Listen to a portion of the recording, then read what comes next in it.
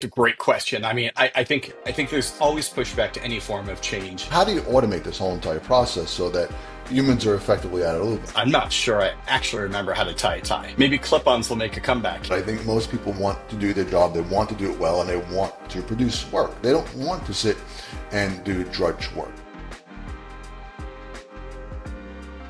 I would take one process, one small process, but a process that's complex enough Right. to have a lot of nuance, to require some controls, and to, um, you know, potentially need fine tuning. Like you don't want to start with the process that you know is perfect, because having the AI agent monitor a perfect Right. process um, isn't going to show you how well it can work.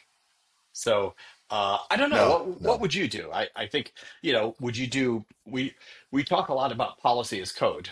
And I, I sort of wonder, you know, where w- what kinds of policies might you pick? Would you have an AI agent monitor the uh, security configurations of an application? Would you have it monitor a um, credit process or a KYC process in in a bank?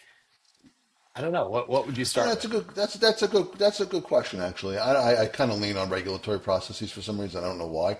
I mean, I think you brought up all good examples in all places where it could apply, but for some reason, I tend to go to regulatory processes and compliance. And I, I don't know why. Just for whatever reason, my mind happens to go there. Um, I, I know it's non-trivial ingesting all this information from a whole bunch of different variety of sources. But I do love your manufacturing analogy because I think that's actually spot on.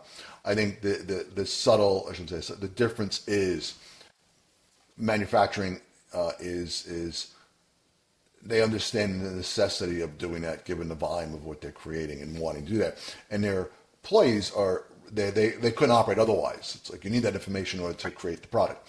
Whereas I think on when these things are more compliance and regulatory driven and they're more ad hoc, the mindset of the individual is a little bit different. That oh, I have to be an attorney to do this. I can't you know I can't uh, relinquish my control to a machine, which is effectively what you're doing. But I do think you're spot on. I think also for the first time we can do knowledge type and very complex knowledge type work with these models.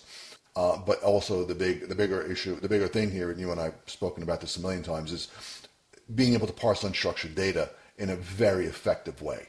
And that is really, to me, the big, profound change here. That I can look at text content, and you it, that is really it. And I can assess that content, and I could extract extract key information from that content and make decisions off that content. You know, which is very different than a highly structured sensor returning, you know, a series of numbers.